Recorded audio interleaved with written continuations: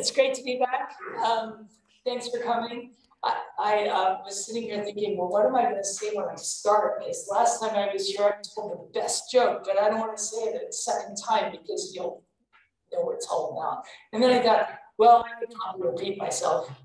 so it's not really a joke. It's just something that happened when I was working on the Roadside Geology of Oregon book. I, um, my friend Birgitta accompanied me on a lot of the field trips and um, and we had such a different style. In fact, I, I hope if you get a chance to look at the books, you look at the acknowledgments because they're kind of the best part of the book.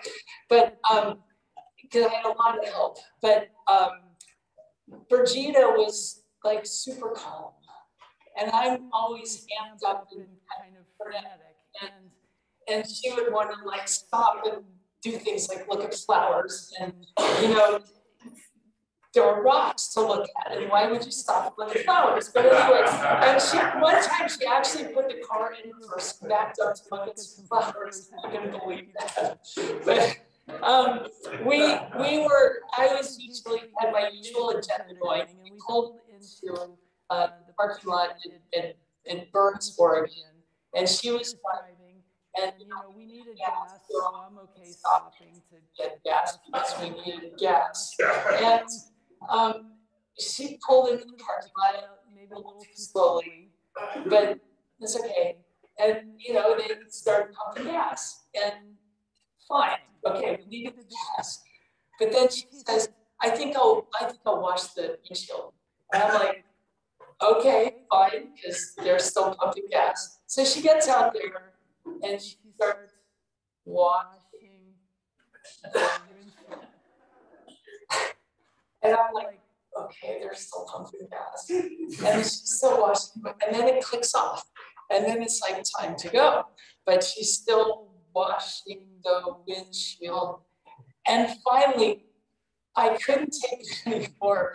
And I said, it looks great. And she said, I think I'll wash that windshield. anyway, even better because of that. So, um, I, I probably should stop telling little stories or you, I'll lose all credibility. So let's maybe move on to the slides. And then if you could get a little closer Oh. to the computer, they're having trouble hearing. Oh, oh, oh Do do at- your best. Okay, let's see here. Oh, but we need the slides, right? Yeah, click on. Oh, Can we dim the lights in front of the room here so we can see the? I'm not sure. Oh, I clicked on the, If you here can get- here we go. There Ah. Okay, Um, lights are operated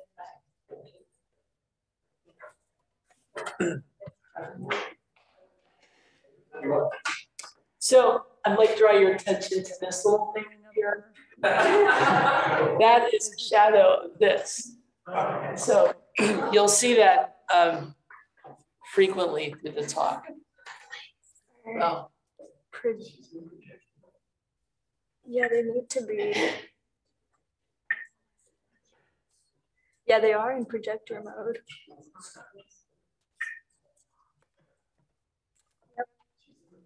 Yeah, it Is is. it in- projector it is mode? projector mode. Yeah. well, we can press all off. Do you want, all, then it's dark and you can go to sleep. Should I press all off? Right, sure. Right. Oh, Okay. All right. Well, um, I'm sure you all know we've got some pretty awesome landscapes here in Oregon and Washington. This is Bandon Beach, um, at low tide, you can go out and, and, and check out the sea stacks. Um, we've got the, um, Cascade volcanoes, which run all the way from Lassen Peak in Northern California up to southern British Columbia. Here's a view looking over uh, Mount St. Helens towards Mount Rainier. And here in Oregon, we've got the Three Sisters there, and there's uh, Mount Bachelor and, and Broken Top, you know, along with the whole other slew of um, volcanoes, including Mount Hood right here. Um, if you go up to northern Washington State, you can get up into the North Cascades Range, which are altogether different mountains. They're they're not, by and large, um, volcanoes. They're um, um, igneous and metamorphic rock that, has come up from pretty great depths and uh, is now being eroded by these glaciers that you can see. Uh, if you go east of the Cascades, you get in the much drier country. This is looking into the Yakima Valley uh, here in Washington. And um, if you uh, go down into southern Oregon, you can get into these great desert landscapes um, in the Basin and Range. This is uh, Alvord Desert, which periodically floods and then it dries up and leaves behind these great mud cracks. Um, so there's really awesome landscape. And it, the USGS has got these great physiographic maps you can just stare at for a while.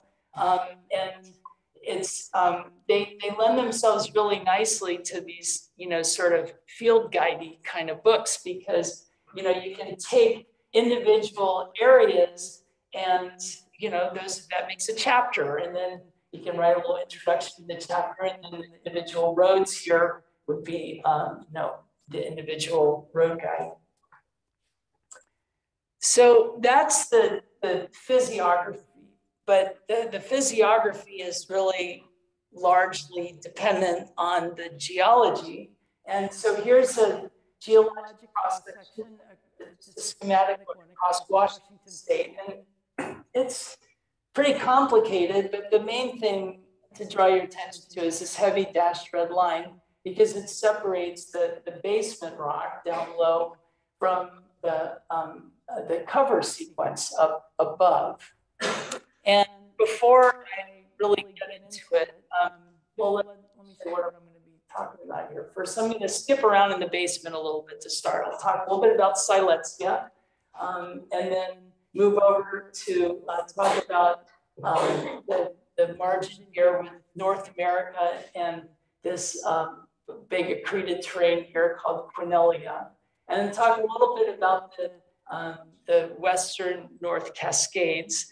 And, um, and that'll is kind of nice because it kind of lends itself to talking about the cover as well.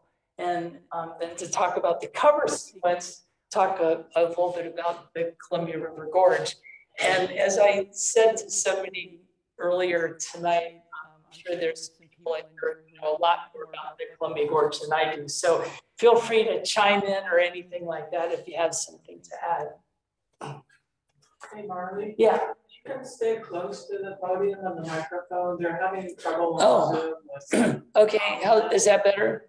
Yeah, it seems to be better if you can stay closer. Okay, Okay, thank you. Yeah, just a comment, comment, uh, the, uh, quality of the audio declines when you turn towards the screen behind you.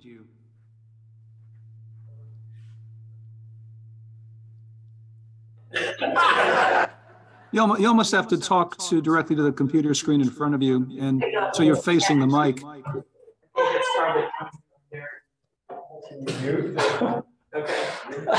Okay. that was kind of scary. Um, but so before we go on, just make sure everybody's on the same page as far as plate tectonics. Okay, because plate tectonics is a huge thing when we talk about geology of the Pacific Northwest.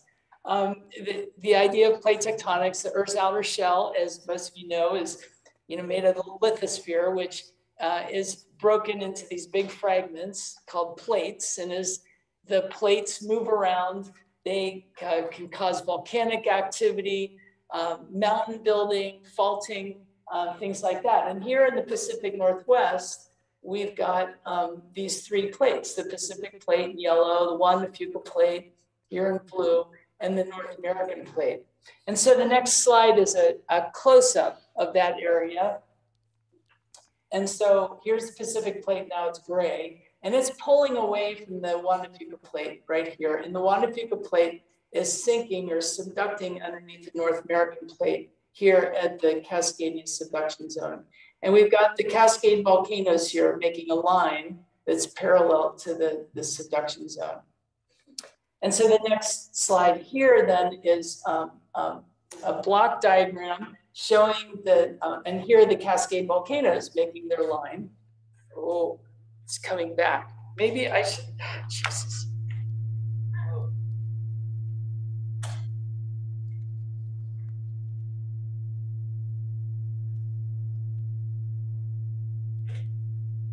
trying to turn this off.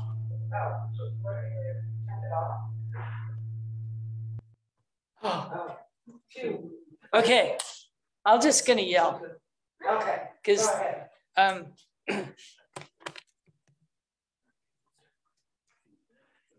There we go. Thanks, sorry. No, that's okay. Okay, so you can see the um, Cascade volcanoes here making the line. Here they are. And so uh, what's happening then is the Juan de Fuca plate is sinking or subducting underneath the North American plate.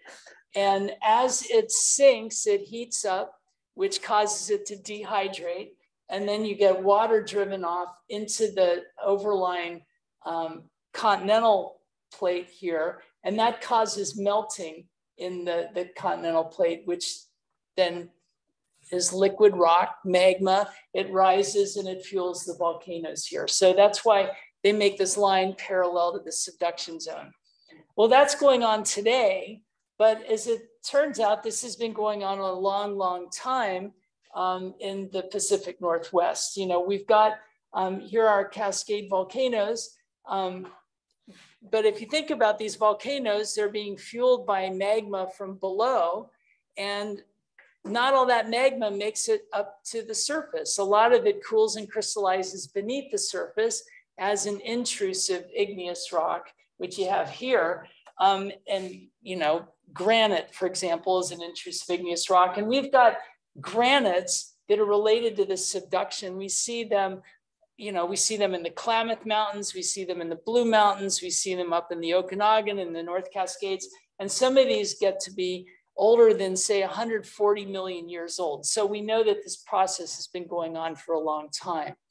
But also, um, it, it, it explains how the continent grows. And, and if you imagine here, like this upper diagram, the oceanic lithosphere subducting underneath North America, if it's carrying with it, say, an island arc complex or a big oceanic plateau or something like that, when it gets into the subduction zone, it, it it's going to jam it up. But you've got still got those two plates converging, and eventually, then it's going to break. And in breaking, this body gets added onto or accreted onto the edge of the continent. And so if you compare, well, if you think about through time, another one coming in, then you can get another one of these so-called terranes added onto the continent as well. You can have a whole sequence of those. So if you look back at this cross section, you, here's North America. You've had accreted terranes here, Quesnellia, the terranes of the North Cascades added after that. And finally, Siletzia was added. And you see this pretty much the same thing in Oregon. Um, there, you can see these cross sections are really similar. Um, all these accreted terranes added onto North America. And after the accreted terranes were added, then you've got material that was erupted or deposited over the top uh, to make up the cover sequence. So to talk about Siletzia here, uh, one of the hallmarks of Siletzia, and um, are, are these things. These are pillow basalts. Um, and, you know, if you're not familiar with pillow basalts, they're pretty awesome. They're these rounded blobs of basalt and, and they, they erupt on the seafloor. Um, and you can imagine a, a, a submarine vent, for example, expelling blobs of lava, which then interacts with the, the cold seawater and it causes it to freeze on the outside, but it's still kind of malleable and soft on the inside. It's, it settles on the seafloor, and then another one comes and settles on top. So they kind of conform in shape here with the underlying one. And, and then you get a whole stack of these, whole stack of these pillows. And here's a, a cross-sectional view of some pillows on Mary's Peak. You can see these radial fractures here because it's cooling from the outside inward. Um, and on this geologic map, you can see the, the, the, the general um, distribution of Siletzia, wherever you have purple. So down here, at Roseburg, you've got exposures of Siletzia, Siletzia, Siletzia. Here's Mary's Peak behind Corvallis. You can see Siletzia up here, wherever there's purple, it goes all the way up to Northern Washington State and in fact on the southern Vancouver Island. It's this huge, huge accreted terrane. And these rocks uh, formed between about 51 and 56 million years ago, and then it was all accreted uh, between about 51 to 49 million years ago. So after it was accreted, then you've got more sediment deposit over the top or volcanic material. Uh, and so that's what all these other colors are on the geologic map. So if I were to drill a hole, say like right here, and drill downwards, I would drill down through these sedimentary rocks and then into the basement of Siletzia. If you go up to uh, the northern tip of the uh, Olympic Peninsula up here um, to like Olympic National Park, you can drive the Hurricane Ridge Road, which is right here, and it crosses this sort of band, kind of make a makes a horseshoe here of um, Siletzia, and you can drive along the road. There's lots of pullouts. Get out and pet the pillows. Um, they're very cool. Um, and, and then you can drive on all the way into the core of the Olympics and, and, and you know, wave at Mount Olympus and, and see some of the rocks up there. There are these low grade metamorphic rocks. Um, and you're in the Olympic core here, which is collectively called uh, the Olympic subduction, co subduction complex. So all this is part of this Olympic subduction complex. This is stuff that's been basically scraped off the descending plate. So it's material that was came together in a subduction zone. So you'd expect it to be really variable, and it is. So if you were to drive down the road down here and look at some of these beaches all along here, you can get a sense for just how variable it is. Um, this is its second beach. Um, you know, beautiful landscape down there, all these incredible coastal features. Um, but if you look at the rocks, you can see there are these, um, there are all these broken up pieces of sandstone in here, but then here's this piece of limestone stuck in the middle. Um, these are um, most likely submarine debris flows. If you go to uh, Ruby Beach, you can see more submarine debris flows, um, but these have pieces of basalt um, in them. They're probably part of Siletzia. If you go to um, beach four, you can see sandstones and shales. So it's really variable, but it also, it's also like you might expect in a subduction zone, really deformed too. So these things are tilted up on end, you can see.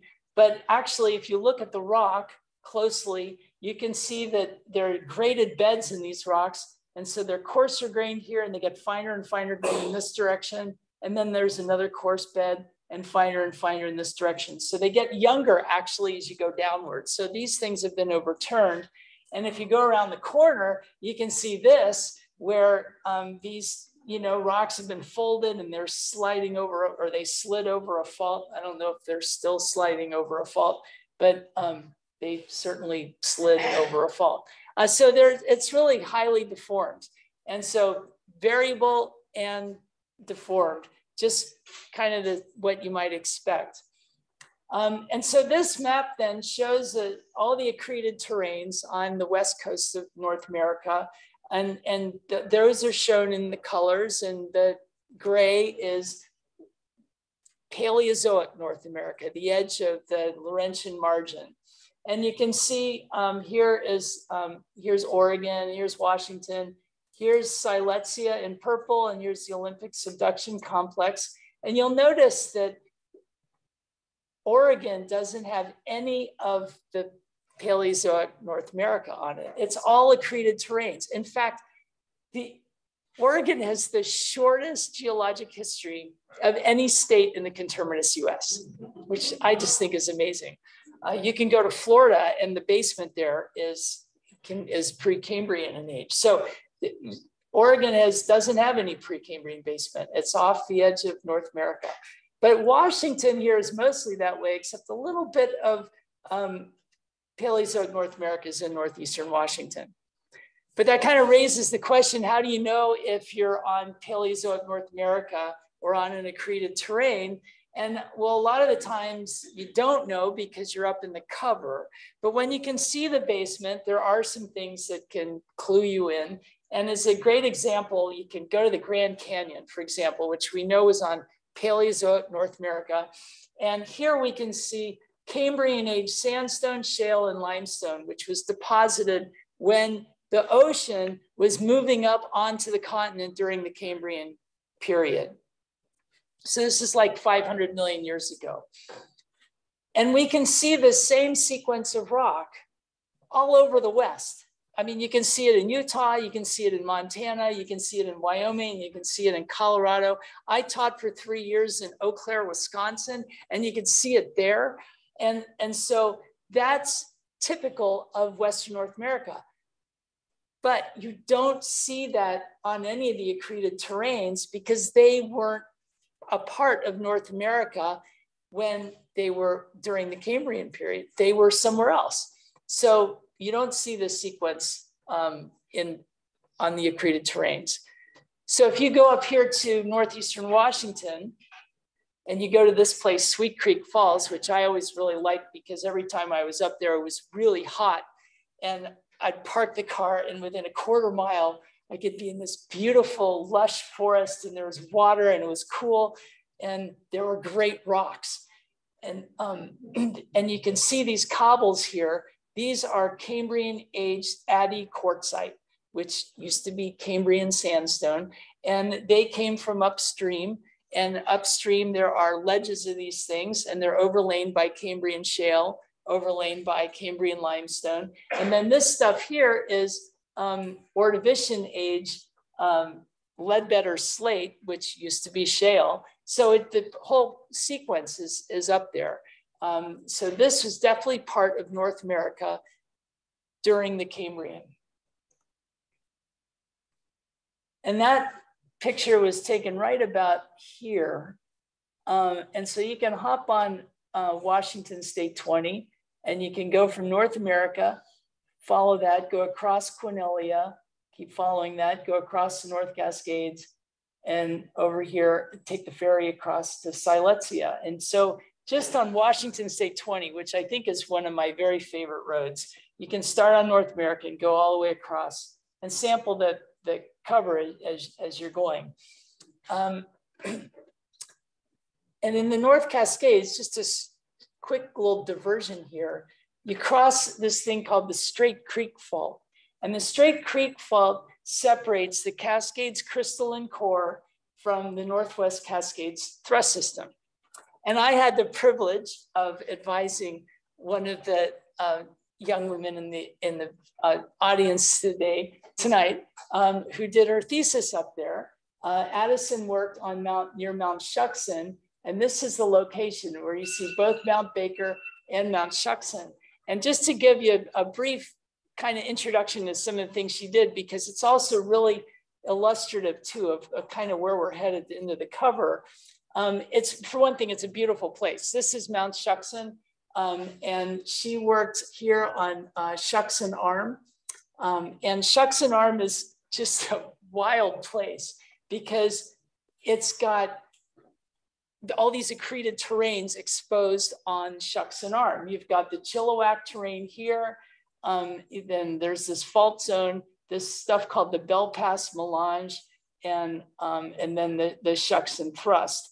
And one of the things she did was relocate. So this is an old diagram I made for a, a little grant proposal. And she figured out that it actually isn't there. It's back behind here, but this, so this is an old diagram. One of the things Addison did was relocate the thrust. Here she is and her field assistant, Seisha, we're hiking to, to find where the thrust actually is.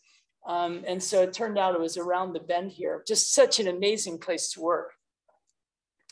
Um, and so one of the, besides the fact that you gave us a chance to really look at some of these accreted terranes and all that, there was Mount Baker the whole time. And, you know, Mount Baker is, it's a volcano that has come up through the North Cascades, through these accreted terranes. So while we're looking at rocks like this, this is part of the Bell Pass Melange, uh, you've got Mount Baker here, which basically has come up through those and erupted over the top. So while we're looking at the basement here, this is also cover. This now is cover that has comes up and covers a lot of the basement. I think we could have found more stuff if you could just remove Mount Baker and look underneath. That's not possible. So anyway, on to the cover then. Um, then in the Columbia River Gorge, here we are in Portland. Um, and I outlined it with two yellow lines here from here to the Dalles because one of the great things about it is you can go up, you know, interstate um, um, 80 um, up to the Dalles, or and then you can come back on Washington State 14 or do it the other way. It just makes a great field trip. Um, and I'll be kind of skipping around, just kind of back and forth, pointing out some things. So as I go up to try to make it at least a semi-coherent story. And this is two maps. This isn't the Columbia River. It's not that wide. There's actually two Columbia Rivers here. Um, and so this is a map from the Roadside Geology of Oregon book, and this is from Washington. And um, just to kind of give you a sense of just how variable the geology is, and to kind of simplify it, I just kind of highlighted some of what some of the colors meant. Um, you can see lots of landslides and river and flood sediment in yellow. There's this stuff called the Troutdale Formation, which I'll be talking about a little bit. Um, there's, of course, Cascades Range lavas and things like including Mount Hood down here. They're the boring volcanics and magenta color. There's even some granitic rocks up here. There's lots of Columbia River basalt. And then there's even older uh, volcanic rocks that are related to the, the um, Cascades. And that's still kind of like, all right, well, there's a whole lot of rocks. But so the, the few points I want to make uh, is that we see this volcanic activity in the gorge. It, it goes back to the earliest Cascades. Um, and there's just a whole sequence of great volcanic rocks. Um, we can see, I mean, there's lots of reasons. We know that the Columbia River is a pretty old river. It dates back um, well into uh, um, Columbia River basalt times. Um, but there's some real kind of interesting direct evidence that it's at least 12 million years old up the gorge that I, I, I like to um, talk about. And that we see that the bedrock structure really influences the shape of the gorge. That is basically the, the dip of the beds in the, in the volcanic rocks and uh, or the dip of the lava flows. And of course, it's a great place um, to, to look at some evidence for the Ice Age floods, which I'd like to point out. Scott Burns here is the person who really got me excited about the Ice Age floods for the first time. He gave a talk at University of Oregon and oh my God, it just took everybody's breath away. So here we are heading up the gorge and you can choose which road you want to take, I-84 um, or Washington State 14, which is certainly a calmer um, way to go. I have lots of pullouts along Washington 14. It's also a really fast road. You don't drive underneath all the cliffs and everything, uh, and that relates to the shape of the gorge, but uh, it's a really great drive. Or so you could just go, you know, counterclockwise or clockwise, however you want to do it. But there's Mount Hood, so you know we can kind of dispense with that. That's active volcanic activity. I know some people have spent their whole career on Mount Hood, and I said we could just dispense with it. But no, it's a great mountain. Um, but um, what I really want you to see is this here. This is Larch Mountain, which is a big uh, basaltic shield volcano, and it's part of the Boring Volcanics um, which um, erupted from about 2.7 million years ago to 57,000 years ago. So this map from Evarts et al. Um, shows the distribution of the Boring volcanics. And it shows where Boring is right here, the town of Boring, um, which I've been to and stopped at the bakery. Um, but the colors indicate different ages of the, the volcanic rocks. They're almost all basalt, lots of lava flows, lots of cinder cones, some shield volcanoes. Um, and they're really an interesting thing. And I can't claim to know a whole lot about them, um, except certainly here in uh, Portland, they really dominate the landscape. All these buttes and everything, uh, they're either made of boring volcanics or they're cored by boring volcanics. Um, and, and, you know, there are these recently erupted volcanoes in an urban area. So they're, um, they're considered a potential hazard. I mean, if you think how many eruptions there have been in the last 2.7 million years, um, it, it seems like at a geological timescale, they're bound to continue erupting. So um, I think there a, a, lot of people are very interested in them and the potential for um, possible future eruptions. They're also interesting because they're they're not on the, the axis of the Cascade volcanoes. They're over here on west, off the axis. And so there's a lot of questions about why they actually, uh, why they even exist. Why are they here in the Portland area and not uh, in the Cascades themselves? Um, I was talking a little bit about that uh, today at dinner with Sheila. And, you know, one possible explanation might be because of this rotation of, of Western Oregon um, around the pole at, located near Pendleton, which is about one degree every million years, but that's enough to cause the crust here to fracture and might allow material to, to come up to the surface. Um, there's ongoing research on this. And Beacon Rock here is the most recent of the uh, boring volcanics. It's 57,000 years old. And um, you can go up to the top. There's basically a stairway that goes all the way up and you can get nice views of the Columbia River. Um, and also you can see back here these hills, which are mostly older volcanic rocks, and they include the Columbia River Basalt Group, which once you get up in the gorge, that is what you're looking at uh, largely. Everything in this photograph is Columbia River Basalt Group, and it's just amazing. I, I mean, you can look at a single lava flow and just trace it forever. Um, and these things, you know, they originated, most of them originated in uh, Eastern Oregon and uh, Southeastern Washington. Uh, and they basically covered this immense area. They're called flood basalts because they flooded the landscape. And um, many of the flows actually made it all the way to the coast. Um, and I mean, it's an immense area. It's also related to the Yellowstone hotspot. Um, there's it, the, the, stuff about the Columbia River basalt just goes on and on and on.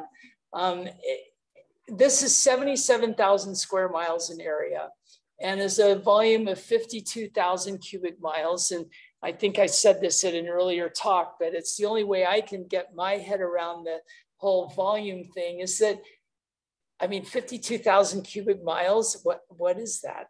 And, and well, that in the Grand Canyon, the National Park Service has estimated the volume of air between the two rims to be about 1,000 cubic miles. So the Columbia River Basalt Group is more than 50 times the volume of air in the Grand Canyon.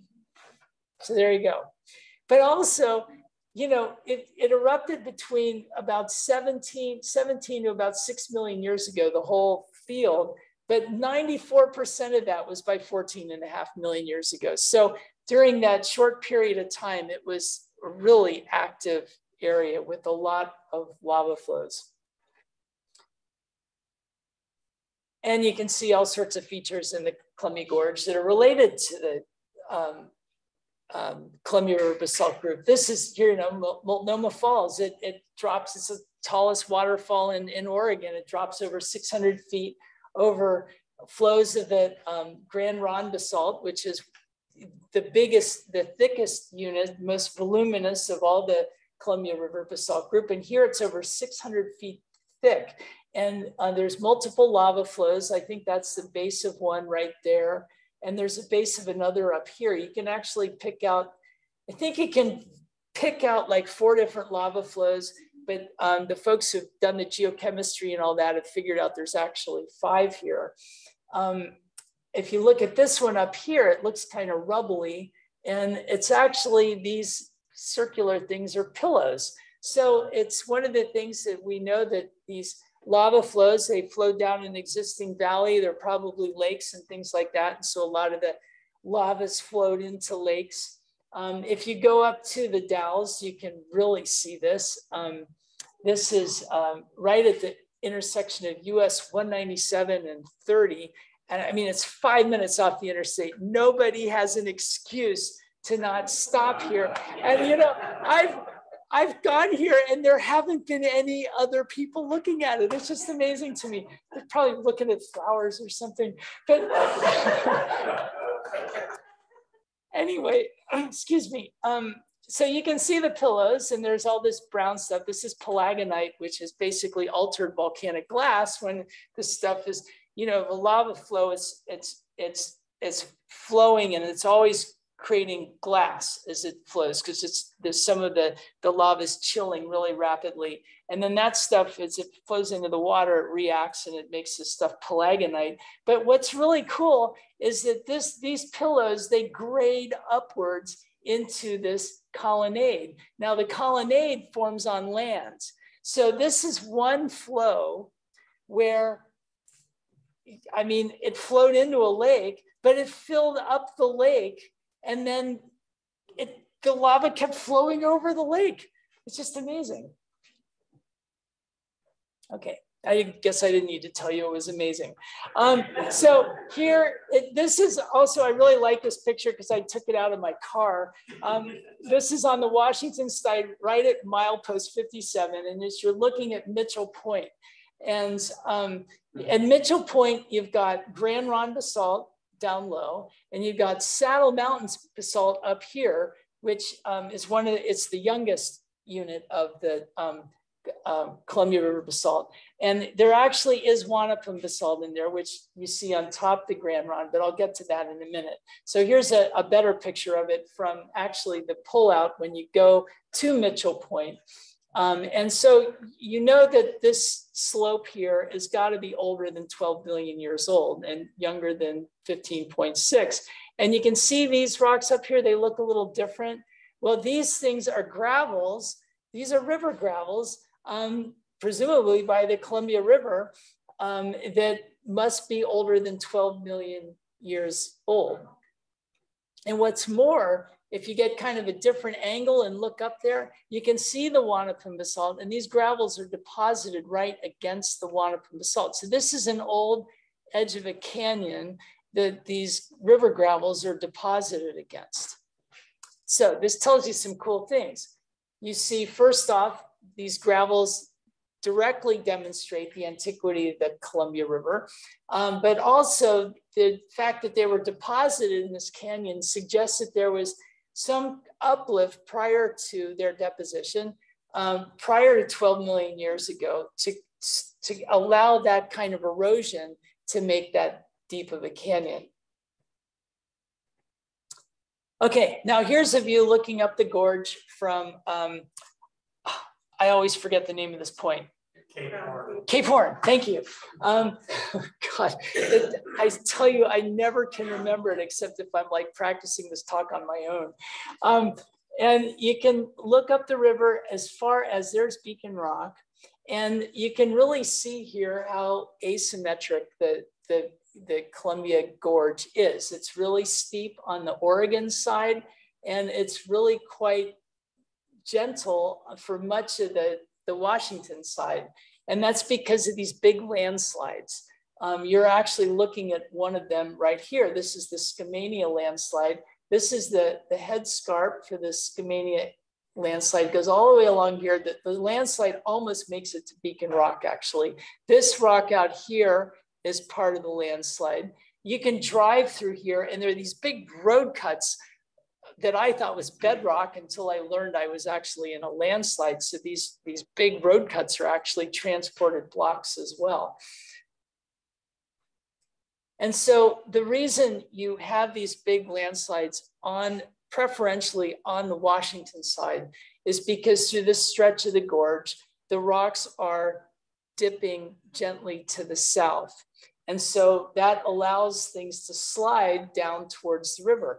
On the south side, on the Oregon side, there's nowhere for them to slide. So you can get some landslides, you certainly do, uh, but they're not nearly as big as, as the landslides on the Washington side.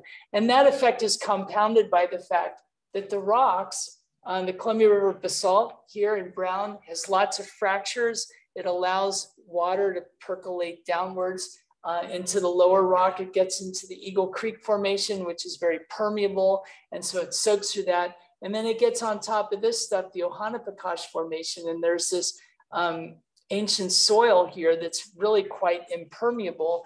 Um, and so the water pools there, and it, it has this buoying effect that uh, enhances the, the, the landsliding. And so you, you just tend to get big landslides coming down towards the Columbia River. And here's a view from up on Beacon Rock. You can see um, the gentle dip here, the Eagle Creek Formation. And, and so things are all dipping gently to the south. And here's a little bit of the picture of the Eagle Creek Formation. You can just get a sense how permeable it must be. Um, and, but also these are lahar deposits of um, the, it's about 20, 22 million years old, I think. So these are like older cascade volcanoes and the Ohanapecosh underneath it gets as old as, as I think it's about 35 or 36 million years ago. So these are really the oldest volcanic representations we have of today's volcanic uh, arc. Here's a view looking at the Bonneville landslide. There's the Bonneville Dam. Uh, here's the little town of Cascade Locks and the Bridge of the Gods that you can um, drive across. Um, and you can see the Bonneville landslide here. This is only about 600 years old. And um, you can see that it moved the channel of the, the river to the south a little bit. It actually dammed the river so you could walk across it 600 years ago, which created this the, the legend of the Bridge of the Gods. It caused, because it blocked the river, it caused it to back up all the way, I believe, to the uh, Tri-Cities area. Um, and well, that was this big lake, which eventually broke through the, the, the dam to, to the landslide and flooded downriver. It would have flooded downtown Portland to a depth of about 20 feet. Um, so big flood about 600 years ago, but nothing compared to the Ice Age floods, many of which were spawned from Glacial Lake Missoula. And I really like this picture because this is, you know, um, uh, uh, thank you, Crown Point and Vista House, um, because the largest of the Columbia or the Missoula floods, uh, the maximum flood crest was nearly 100 feet above Vista House. So just imagine all that water coming down. And um, Scott's book, uh, The Cataclysms on the Columbia, really beautifully describes so much of these, um, these ice age floods. Um, so Scott, feel free to chime in, like I said. Um, but the, um, You're doing great. Oh, thanks, Coach. Um, so, um, but but just if you're not familiar with with the the Missoula floods, um, it's a really cool story because during the um, the end of the, the the Pleistocene, during the end of the Ice Age, you've got the the the the, the um, Cordilleran ice sheet is you know is impinged on um, across what is into what is now the United States, and you've got all these big lobes. And this one lobe here, um, I guess this is the Purcell lobe, it, it, it, it reached down into Idaho and it blocked the Clark Fork, which was a river, which is a river that drains northwestern um, Montana, and it caused it to back up into this giant lake called Glacial Lake Missoula. And I mean, you, you, can see the lake and you can see just how big it was. If you look at the scale here, this is over, this is 100 miles to Missoula and it then extends farther down the Bitterroot Valley. But to really get an idea how big this lake was, here's a picture in Missoula, Montana. And these strand lines from the lake reach up over a thousand feet above the valley floor. So this lake, 100 miles away from where it's being blocked, was a thousand feet deep at least. So eventually it broke through the ice, causes massive flood that coursed down through the northeastern Washington, carved out the channeled scablands, got into the, the Columbia River um, basin, depending on which flood you're talking about. One of them actually came all the way down. Um, and then there are a couple places where there's constrictions in the channel uh, where it backed up here, it backed up all the way to um, almost to Yakima. It backed up when it reached the, the, the sort of the mouth, if you will, of the Columbia Gorge. And here at Kalama Gap, it backed up all the way um, back to Eugene. Um, and these floods occurred repeatedly. Um, I've heard estimates between um, 40 and some people I think argue for more than 100 floods that took place between about 18,000 and about 15,000 years ago.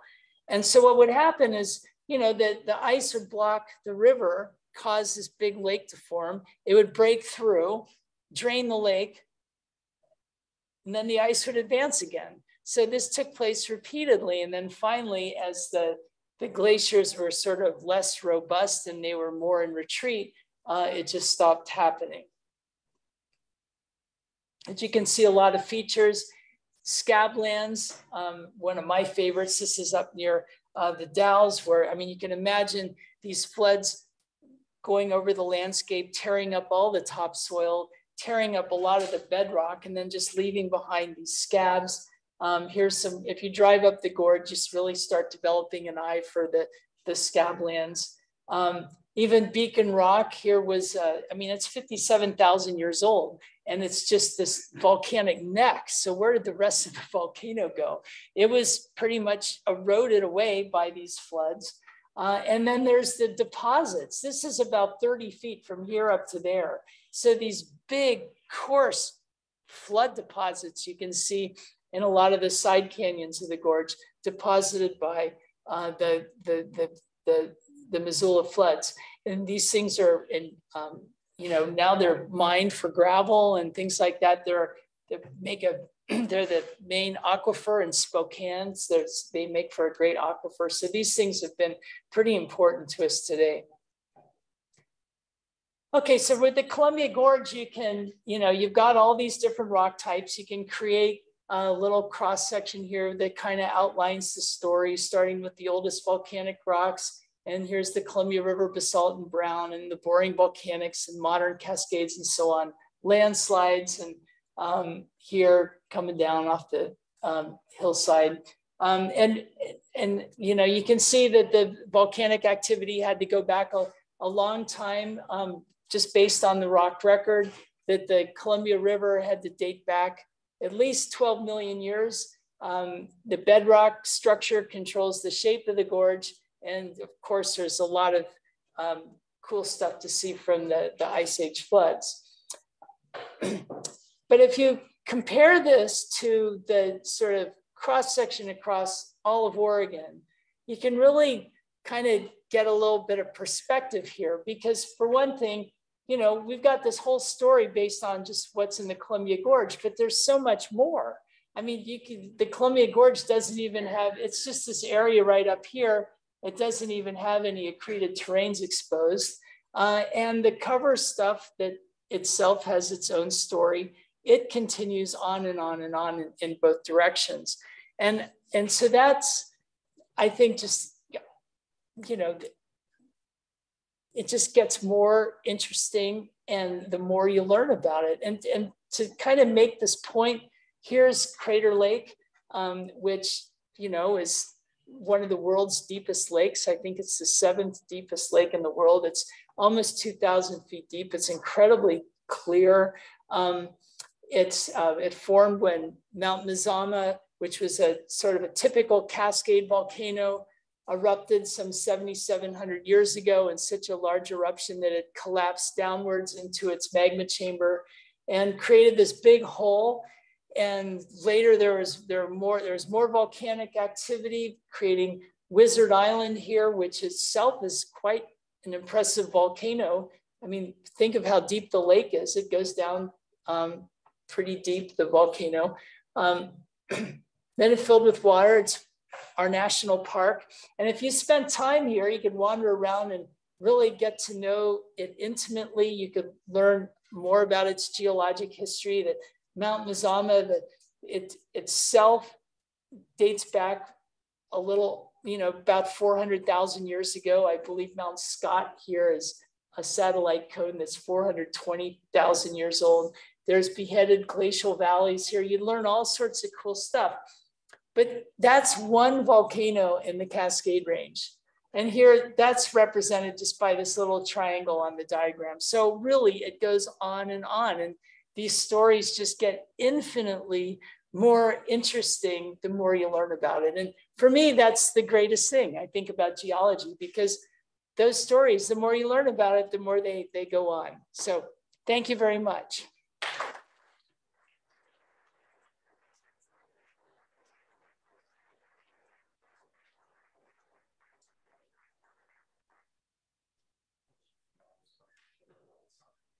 Oh, lights.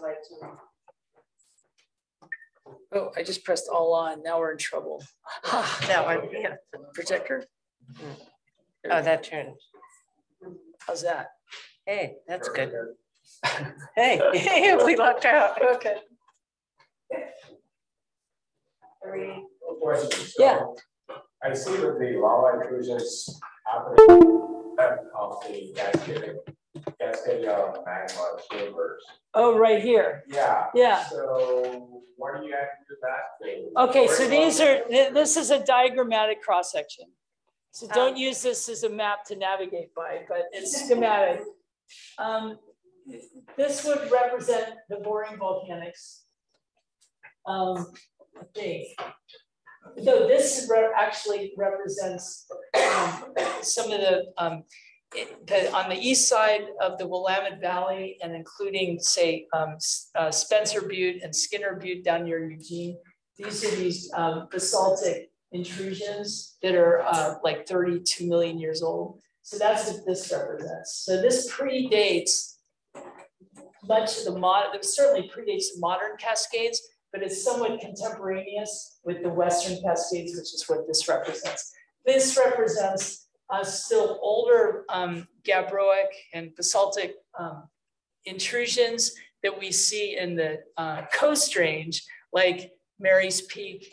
um, and a lot of, if you've been to Kentucky Falls, for example, that flows over a body of, uh, a lot of the waterfalls in the, in the coast range flow over these uh, intrusive um, um, basaltic intrusions. And so they're more resistant, so they, they hold up the waterfalls. And, and can I ask you to repeat the oh. questions that Oh, come yes, for these you. folks? Yeah, Yes. I'm sorry. So that question, I guess I could repeat it after the, Don't, don't repeat the whole thing, but just in the future. yeah, thanks. Yeah, I'm sorry, that was my fault. Yes, Yeah, so uh, the Columbia River flows through the middle of the Cascade Volcanic Arc. Uh, My understanding, it's the only place in the world where a major river flows through the middle of a uh, volcanic arc. Is that true?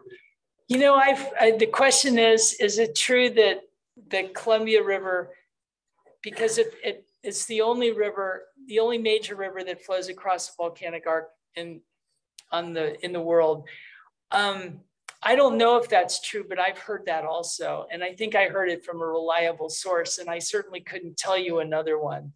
Um, so it might be, there's, um, um, you know, there's a lot of, you know, there's a lot of active tectonism going on here, but I think in a lot of volcanic arcs, there is a lot of active tectonism. So um, I'm not sure exactly why, um, except probably a lot of it has to do with the, the folding that, that um, we might see that's broadly related to the Yakima fold belt. Good, and We can take one or two. from- Yeah, um, Charlie, uh, has a question, if you wanna unmute and ask.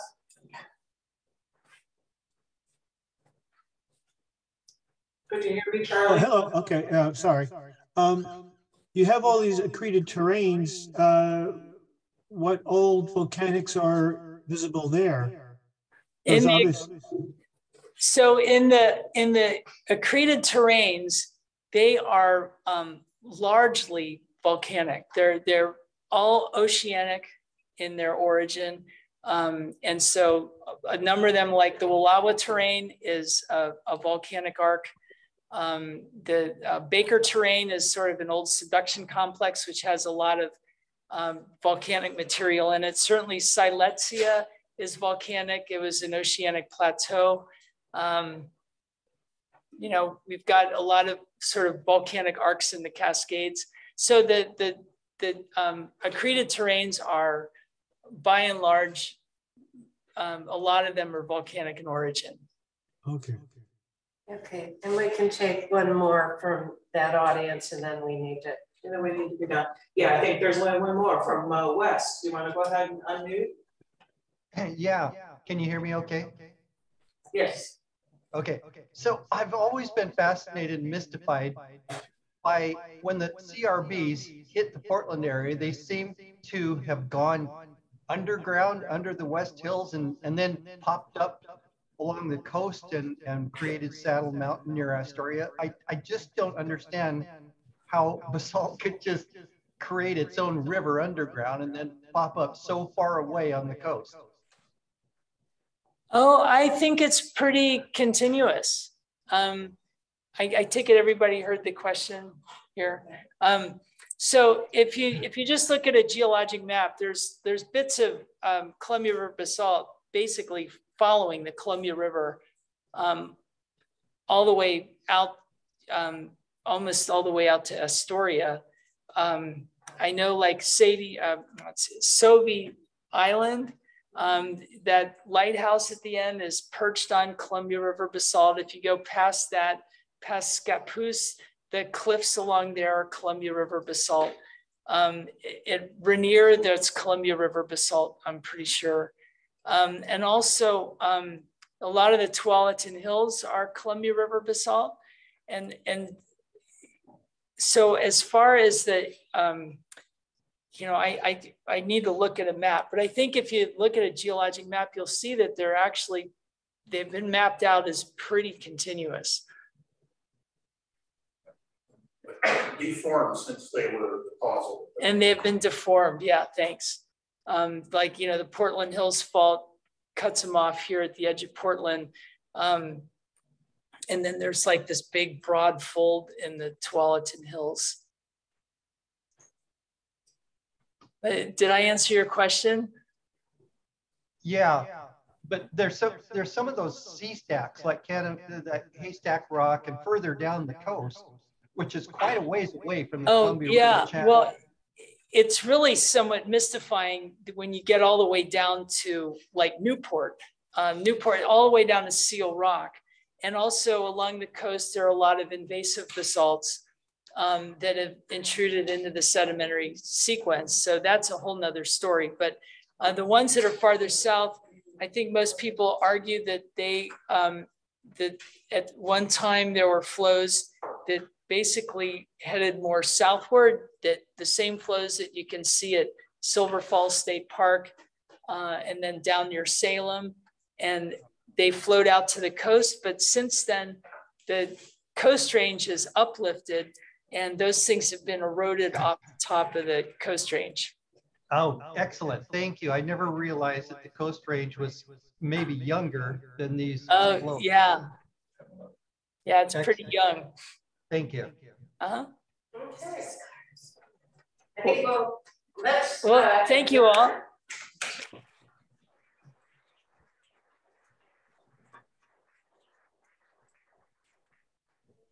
We have book selling event and we have wine tasting event just down the hall and the geology all, all